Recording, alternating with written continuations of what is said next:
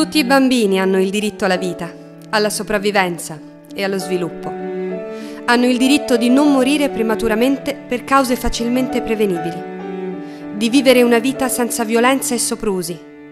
Hanno diritto a non subire discriminazioni per il loro sesso, la loro etnia o la loro religione. Ma ad oggi tutto ciò non è ancora garantito. Esiste una soluzione che aiuti a garantire ciò a cui hanno diritto? Sì, l'istruzione. L'unico strumento che può garantire ai bambini la possibilità di crescere e realizzare le proprie potenzialità. Ma nel mondo ancora 57 milioni di bambini vengono esclusi da questa possibilità. Da questa consapevolezza nasce la nostra missione. Prima in Inghilterra nel 1993 e poi in Italia dal 1999. Migliorare le condizioni di vita dei bambini vittime di conflitti, povertà o altre situazioni di grave disagio attraverso l'istruzione. Lo strumento più efficace e duraturo per vincere la povertà e dare la speranza di un futuro migliore alle famiglie, alle comunità e col tempo alle intere società. Siamo attivi con progetti di sviluppo in Africa, America Latina e Italia.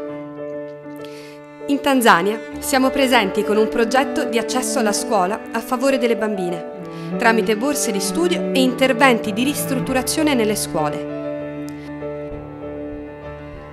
Grazie all'impegno di Children in Crisis, 178 ragazze hanno potuto frequentare la scuola superiore grazie ad una borsa di studio. Sono stati forniti 6.200 libri e 20 personal computer. 2.100 studenti hanno potuto beneficiare dei nostri interventi di ristrutturazione nelle scuole. Nella scuola JJ Mungai abbiamo costruito l'unica biblioteca di tutta la città di Mafinga e la più grande della Tanzania. Prima gli studenti della scuola di Lufiliu erano costretti a mangiare all'aperto, anche sotto la pioggia. Ora possono finalmente usufruire della nuova struttura che abbiamo costruito. Un altro problema era l'acqua.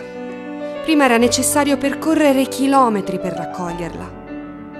Ora invece, con il nuovo impianto idrico con pozzi e pompa, le ragazze hanno finalmente accesso ad acqua corrente abbiamo fornito 160 letti e materassi alla scuola di Ngugu e installato 50 pannelli solari che forniscono energia elettrica anche durante le ore notturne. In Liberia, paese distrutto da 14 anni di guerra civile, costruiamo scuole, formiamo insegnanti e ci occupiamo dell'alfabetizzazione e della formazione professionale delle donne in aree devastate da conflitti e calamità naturali.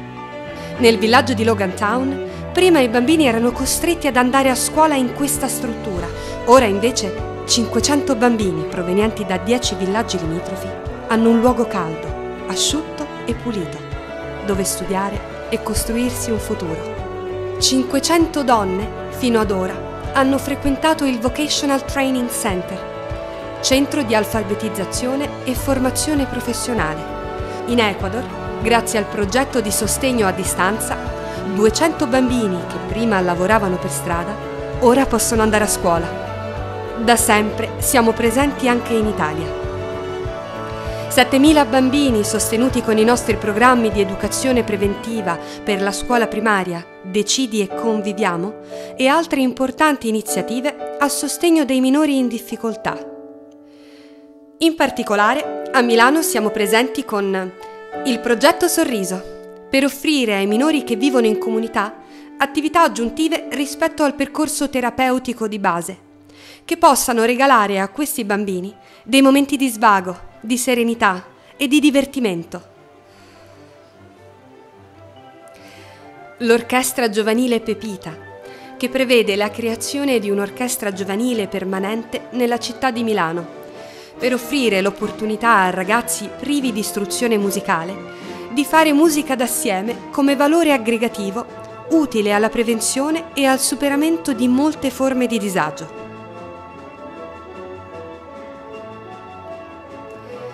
Il diritto all'accesso all'istruzione per tutti i bambini del mondo è un traguardo difficile da raggiungere, ma possibile. In questi 15 anni di attività sono stati migliaia i bambini e le donne che hanno potuto andare a scuola, studiare, prendere coscienza dei propri diritti. Ma molto lavoro rimane ancora da fare. Per questo continueremo ad impegnarci, perché sempre più bambini possano avere un futuro migliore. Nel corso di questi 15 anni, Children in Crisis Italy ha inoltre operato in Cina per la formazione di levatrici, Timor Est con la formazione degli insegnanti, Haiti con la costruzione di una scuola materna, Afghanistan a sostegno dell'istruzione dei bambini, Sierra Leone con la costruzione di due scuole e la riabilitazione di altre cinque strutture. Polonia, a sostegno dei bambini malati cronici. Russia, per l'accoglienza dei bambini di strada. Repubblica Democratica del Congo, con la costruzione e ristrutturazione di scuole e la formazione di insegnanti. L'istruzione è l'arma più potente che puoi utilizzare per cambiare il mondo. Nelson Mandela